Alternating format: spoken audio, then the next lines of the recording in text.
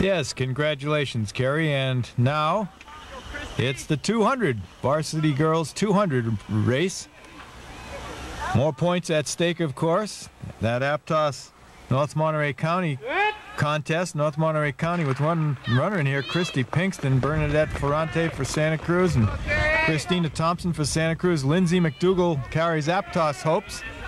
Kelly Black, Cristina Francis of SLV, and Cristina Francis of SLV appears to have the lead right now as they make the turn. But in the middle of the track, it's Christine Thompson from Santa Cruz being given chase by Lindsey McDougal of Aptos. Christina Thompson's going to win it easy.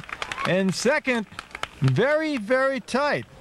I think it'll go McDougal of Aptos and Cristina Francis of SLV. So Aptos gets some points here. That's been verified now. That is correct. Lindsey McDougal of Aptos is second. Christina Thompson off to Grambling next year wins another race. This won the 200 in a time of 25.8. Cristina Francis of SLV third in 26.7. Lindsey McDougal's time picking up the points for Aptos 26 and 5.